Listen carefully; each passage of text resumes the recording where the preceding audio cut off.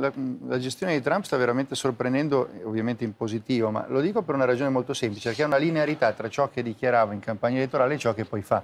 Può non piacere a noi, ma certamente lui fa l'interesse di coloro che l'hanno votato. E Ma non, non pensa che abbia ragione Daniele Bellasio che però una posizione come quella di Trump richiederebbe un'Europa invece meno intergovernativa, meno, meno preda dei nazionalismi, dei, delle vista, tentazioni protezionistiche? Dipende da che punto di vista si guarda la questione. Se io la guardo da un punto di vista americano, sono un elettore sì. americano, Trump sta facendo quello che ha detto in campagna elettorale. Ma dal punto di vista dell'elettore dal italiano? Dal punto di vista nostro, e siamo noi che dobbiamo fare il nostro interesse, mica aspettarci che gli altri facciano il nostro. Eh. Cioè è, è, evidente, questa è una diatriba tra noi, tra la visione che noi abbiamo dell'Europa e l'Europa, o quella che ha il governo dell'Europa. E se uno non è in grado di fare il proprio interesse, lo delega ad altri e altri non lo fanno, mica ti devi lamentare con gli altri, eh? Eh, sei tu che stai mancando.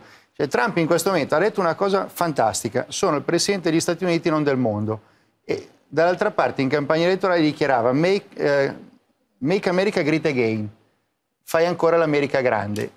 Verrebbe da dire che è espansionismo. No, il suo espansionismo è rimanere in America, appunto, fare l'americano per gli americani, ehm, che non è cosa da poco, eh? perché è una nuova declinazione, lo vogliamo chiamare isolazionismo? No, direi di no, ma è una declinazione del fare prima l'interesse degli americani e poi quello degli altri.